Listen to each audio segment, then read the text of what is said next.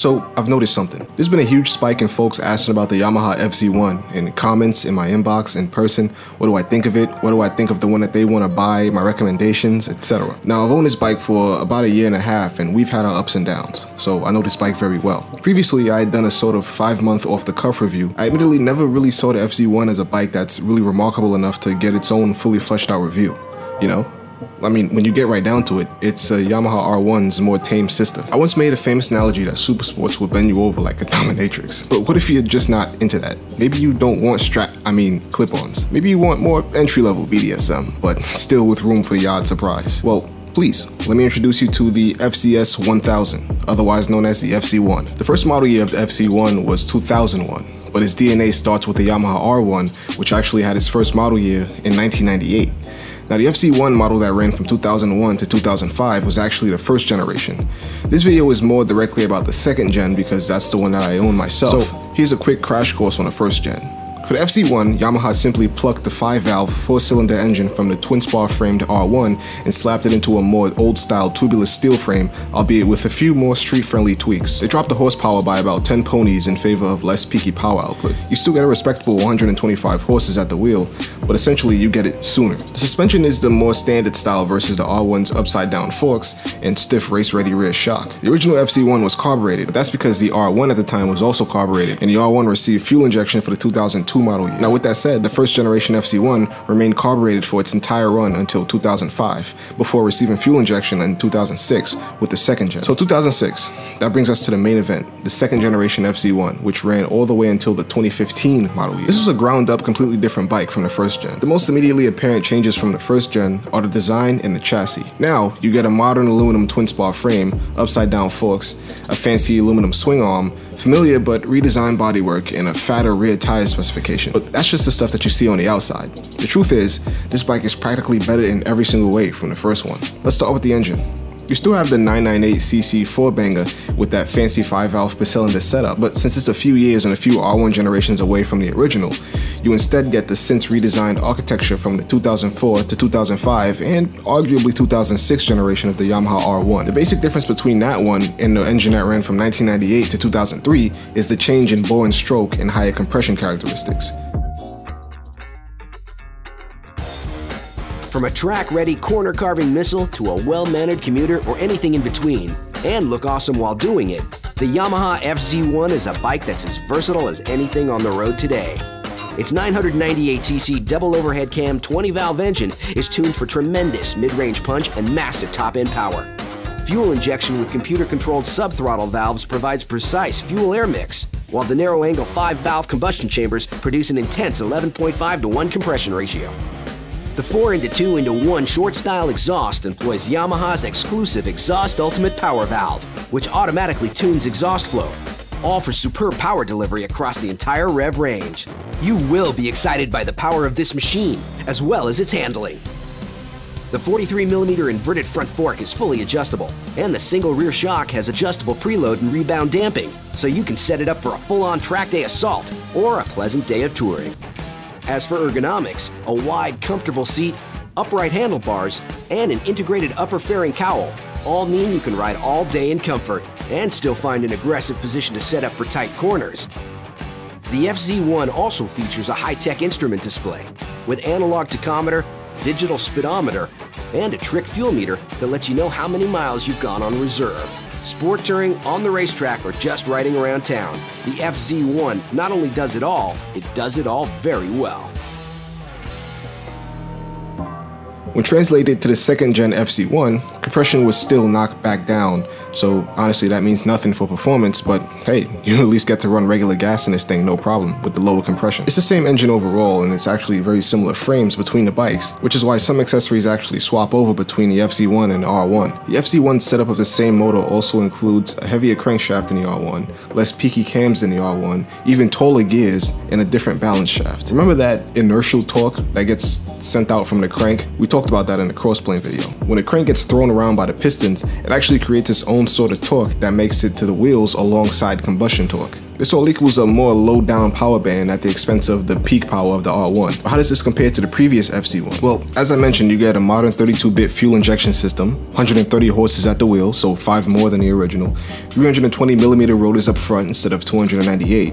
You lose damn near a gallon of fuel tank capacity, but that definitely contributes to the much lower weight rating of the second gen, weighing in at 485 pounds wet versus the original weight of 510 pounds. Now some people swear by the original FZ1, and I guess it's similar enough that the ultimate question is, do you want carburation or fuel injection? Because really you can easily make the arrangements for a fork swap and a shock swap if you really want to update the suspension on the first gen. Granted, you can't get that nice updated bodywork and that blacked out frame and engine. And let's be honest, you want that. Now you have two choices of body style with the FZ1, but only in markets outside of the United States. Yeah, we Yanks only got the fed version, even though the world got both a naked and a fed version. So you may see a few different names being used when referring to the FZ1. See, in the US, it's simply the FZ1, but it can also be referred to as the FZS 1000, for example. That's what your uh, title document will say. In other markets like Europe, that same Fed model that we got will be called the FZ1S Fazer, while the fully naked version will be called the FZ1N. Now, it's all the same bike. Yamaha just likes being difficult. Now, the bike that I bought, a 2006 Yamaha FZ1. If you're outside of the USA, add an S to the end of it. Solid bike, very beautiful Asian-like front fascia, no side fairings, but the head is so shapely that it doesn't look too top heavy without them. Tall drag bars, flat horizontal tail section. These shots were taken in a dealership right before I drove it off the lot. It was honestly interesting because it only had about 13,000 miles on it, which is nothing considering I picked it up in 2018 and it's 2006.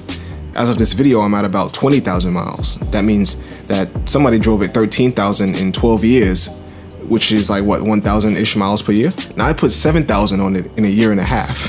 oh, speaking of the previous owner, I have reason to believe that this bike was a one, maybe two owner vehicle before me because it actually came with service records and a pristine finish. This bike was probably the closest to a brand new bike I think I'll ever get. I mean, service records, still had the service manual and a tool bag, floppy OG lights, saddlebag mounts, Touring windshield, a tasteful slip-on, and the original 10 foot long fender in the back. I think an older gentleman owned this and it was probably his weekend toy to cruise around suburban New Jersey on a nice weekend. He probably kept it in his garage, but then I come along and reverse all of that. If you'd like to hear my first impressions on the bike, I did record them as soon as I left the dealer, so feel free to check them out in this video. Now, everything that I had read was true. It was a great bike. You get that sport bike feel with the inline 4 engine revving past 12,000 RPM. It's comfortable with that high bar and the lower and mid-set foot pegs. In fact, on the ride home, I was so used to rear sets thanks to that track ready SV1000 that I was unknowingly resting my boot so far back on the slip on that it left like an ugly spot of burnt like shoe rubber on it. What a great start, right? That reminds me, something, something was just missing here.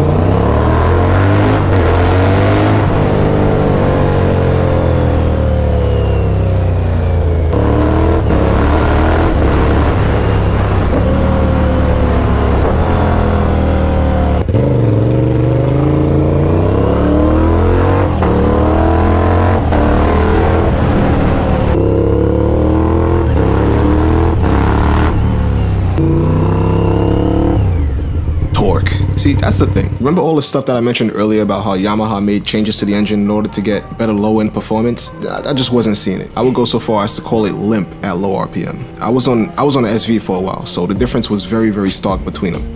I mean, you gotta really rev this thing out like any four-banging sport bike.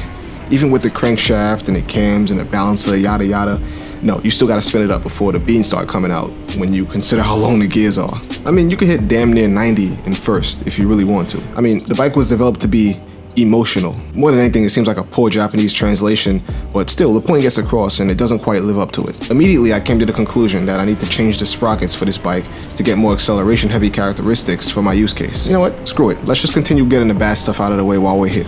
Right, so when it comes to the 2006 FZ1, many people claim that there's like a throttle snatch issue, meaning when you go from the throttle being fully closed, that short period where you crack it open is very violent in their opinion, at like mid to high RPM.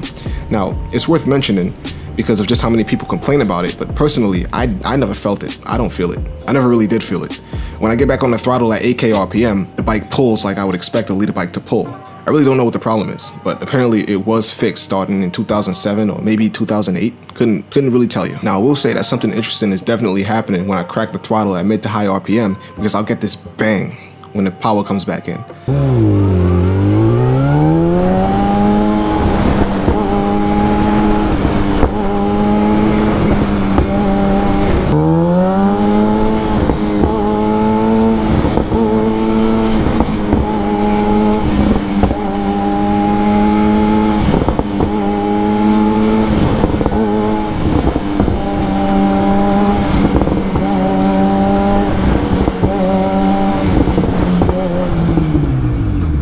Apparently the snatchiness just comes from how the computer will cut the injectors like completely instead of partially with closed throttle. But if this bang is like the byproduct of that, then coupled with the fact that I personally don't feel this complaint, I'm the opposite and I kind of like it. Now still, there's some things that really aren't up to preference. You see this big ugly weld right here in the middle of the frame? Not only is that a visual eyesore, but some of the 2006 models and early 2007 models have a frame cracking issue where the frame will literally split right down the goddamn middle. But not like a catastrophic crack, like when you hit a bump, but you know, it'll get a little hairline fracture here and there. It'll just grow every time you ride it until one day the bike just ends up doing a shoulder lean. There's enough holding the bike together that it won't just split in half on the road, but that's a total bike right there. This manufacturing defect in the weld was addressed and the process was changed for the 2008 and up model years. And riders who experienced this issue with their 2006 and 7 bikes typically were covered for repairs, though I can't find any official info on a recall. It is estimated that 10% of all 06 and 07s out there are susceptible to this issue, so if you find yourself looking at a machine from these years, just inspect those welds on both sides of the bike, you know, especially if it's a low mileage machine. My bike has no cracks, and if you look closely, you can kind of see this little panel. It almost looks like a preemptive like patch, and I'm not sure if if that's original or if it's the way they addressed the issue on frames that didn't crack yet. I wouldn't be surprised if it's the latter because you know, considering how thorough the previous owner with this bike was. There's also these well-known charging system problems that can basically destroy your engine. Yeah. Essentially, the rotor assemblies on the early second gen FZ1s and even R1s at the time were poorly designed, and the glue that holds in the magnets, well, they fail. Imagine little chunks of metal flying around getting stuck everywhere inside your engine. Not great. You end up just grinding away things around them, and pieces of magnets just go flying everywhere. Not only that, but the bearings of the generator can also just fail. Here's some information about that, and a superseding part number that apparently addresses the issue. If you pick up an earlier model FZ1, it's definitely worth taking a look into preemptively. It was only really fixed starting with the uh, 2011 part. If you start hearing scary noises or your bike battery starts dying and not charging, take a look. Now we're still talking about the bad, and this kind of solidifies something that I was thinking about. See, last year on Patreon, I had uploaded a story about how my FZ1 was wrecked. And the worst thing about it, it wasn't even wrecked by me. Now, since I'm expositing so much information about the bike, I'm just gonna share it with all of you guys. I actually rebuilt this bike after it got effectively totaled. I will make a story video public and release it alongside this one. Link up here and also in the description. But without spoiling that story, if you want to watch me tell it, the wreck made me basically realize that the foot peg mounting location is honestly kind of poorly designed. See, the way it works is there's this tab welded onto the main body of the frame. The weld cracked right down the middle as the bike fell over and pushed the tab back, which makes the foot peg rear bolt rub the chain a little bit. For those of you great souls who actually watch my motovlogs, you might remember the Soul of the Street garage in my tour video. Well, they welded the tab back together. But at some point, I'll have to retweak it so it'll fully uh, clear the chain because I kind of had an oversight with that. Oh, that's actually why I had to cut that heel guard like that. Maybe you've noticed. So, for example, on the SV, the rear set's attached to the actual body of the frame, like it has an, a recessed portion of it. If you drop your FZ1, just realize that that tab might just bend right back if it drops hard enough. The silver lining? Well, honestly, Ever since I bought it, I always wanted to turn my bike into the FZ1N anyway. Yes, the FZ1N is definitely the superior looking version if you ask me, and I might be a little bit biased, but as I mentioned, it was never sold in the USA. So if you want the naked style headlight, you have to either spend $600 on a genuine sourced Yamaha kit or $200 on a Chinese reproduction kit. Now I went Chinese and the result was fantastic. It comes with the headlight bracket, the housing, the headlight fairing things on the side, a mirror, maybe turn signals, and about half the hardware that you actually need, and typically no instructions. But really, the hardest thing of this job is tucking all the wiring. Remember, the front of your bike is shortened significantly, so you gotta reroute all that extra wiring, or just shorten the wires, your pick. Throw some of the naked style radiator shrouds on the side, and you have the front of the bike pretty much sorted out as the naked version. It's commonly referred to as the Euro conversion since we never got the naked one in the States. Now, the back of the bike is a little bit more tricky. The faired versions of the FZ1 have a single colored uh, a single colored tail with like grab handles integrated into the plastic, while the naked version has the two-tone tail with the top being body colored and the lower part towards the rear being like a matte gray like, or like a natural plastic color. Now you could go all out and convert the tail to the naked style if you'd like, but you'll be replacing everything back there minus the subframe itself. And you gotta source all the parts from uh, you know all around the world. The seat and the fairing bracket are actually different parts between the S and the N. I was actually in the process of doing it myself because I once had the ultimate goal to emulate that super hot one-off Abarth Assetto Corse FZ1. I was super serious about it on a low key, but I kind of stopped in favor of the K100. But maybe I should get back on that. What do you think? So now I effectively have an FZ1N. I don't experience any snatchy throttle. The rotor hasn't imploded. The frame ain't cracked, and I don't see those things happening really. Everything is good. But what about that lack of low end power? I had to address that. So what I did was I went with a 1648 setup compared to the stock 1745 uh, sprocket setup. Basically, if you go down teeth on the sprocket in the front and go up in the back, you get more acceleration and all you have to do is reverse that if you want more top speed. The original gearing, honestly, is really the bike's greatest shortcoming for me, and I found myself lugging it pretty often in heavy traffic. It's just too calm and too long for these quick blasts light to light that I experience here in New York. If you're on a highway often though, this gearing is going to do wonders for your gas mileage as you putt along in 6th gear. Now the 1648 setup definitely fixed the problem, and I went with uh, 1648 because it's the most drastic change for being able to use the same chain, like the stock chain. At the time, my chain had plenty of life left, so I just bought a cheap 48 tooth, you know, just threw it on there. But honestly, I can say that when I get a new chain soon, I'll more than likely also pick up a 50 tooth rear sprocket just to ramp it up even more. Now when you change the gearing, it throws off the speedometer a little bit. Now mine reads slightly fast, but I have no problem with that because it keeps me traveling under the speed camera threshold a little bit more. So for example, if I'm traveling 31, it'll say like 34 you know, or 35. This bike has really tall gears in the transmission, so it's gonna take, you know, these changes to kind of counteract that. Check out this gearing thread for a rough idea of, you know, where you wanna take it. If you wanna run a quiet 16 tooth sprocket up front, you can actually source a rubber mounted front sprocket from the original FZ1 and it'll swap right over. Fully metal aftermarket sprockets like the one I'm running make more noise, but personally, I really don't care enough about that. maintenance? Well, it's the typical Japanese bike maintenance, which means it's awesome. I will say though, this bike eats rear tires for lunch, and that's probably a product of the gearing and the constant launches from light to light that I have to do. Tires, 120 up front, 190 out back.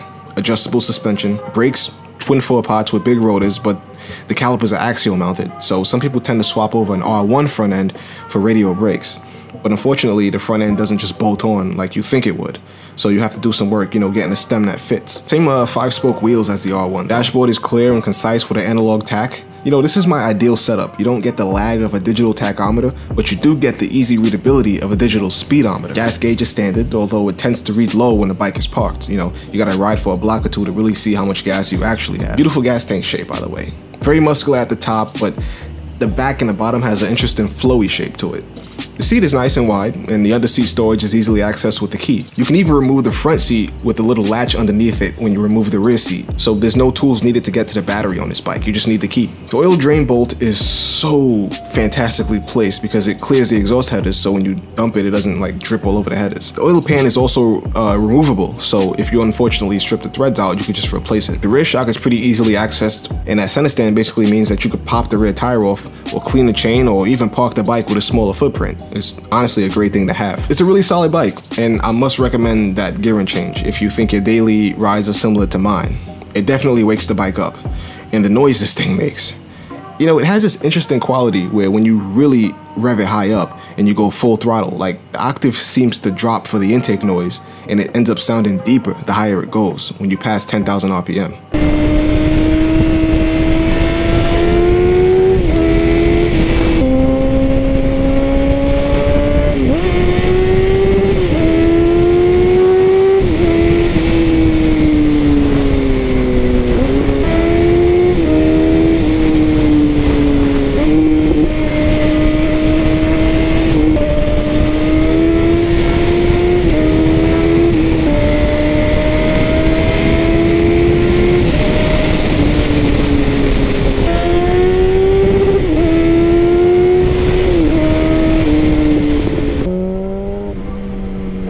It's really angry and I want to get some aero headers on this bike, you know, intake, tune. But honestly, this bike is so good as it is that I'm really dragging my feet with upgrading it. If you ever see me make this bike faster, then I'm officially just bored in general with life. It's plenty fast as is, but since it's a sport bike underneath, it'll happily accept a tune, quick shifter, exhaust, the works, you know. If you want to regain the 150 horsepower at the wheel and 170 at the crank of the stock 2004 R1, remember the FZ1 is 130 at the wheel, 150 at the crank. Now, if you want to take it even further, I know some people who hopped up FZ1 engines by swapping in some R1 cams and all those things, you know, crank, everything like that, and then tuning those engines up for like 180 at the wheel. But at that point, dude, just buy an R1 and give it dirt bars. The aftermarket support isn't super strong in the States, but you can import several exhaust systems and bodywork and, and all those modifications from a website called Webike Japan. It's a super boutique website, but you know, who doesn't like JDM parts? Now, I've said it before, but I was actually supposed to buy a 2005 Speed Triple, but when I arrived at the dealer, it was already sold.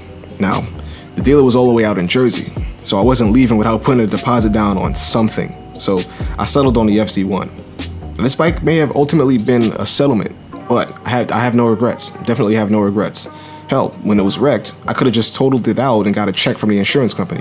But I just put it back together and I kept it pushing. If you're looking for an FZ1, I recommend the 2011 to 2015 model because by then they had sorted out all the throttle snatch and charging system issues. But honestly, you can settle for a 2008 and up without too much concern just you know check around if you're looking at a 2006 07 model now with my short attention span i won't say for certain how much longer i'll be keeping this bike but it's worth mentioning that this is the longest i've ever owned a bike every bike before this you know had problems that made me ditch them but for this one i haven't found the reason yet this one is truly a keeper thank you for watching now i'm not sure what's really causing this spike in fz1 interest but hopefully this helped out anyone who's interested in getting one or entertain those of us who already have one. If you haven't yet, make sure you watch that crash story. It's a real doozy. Anyway, you just watched the illestrator, stay safe with all this stuff going on, and try your best to have a great week.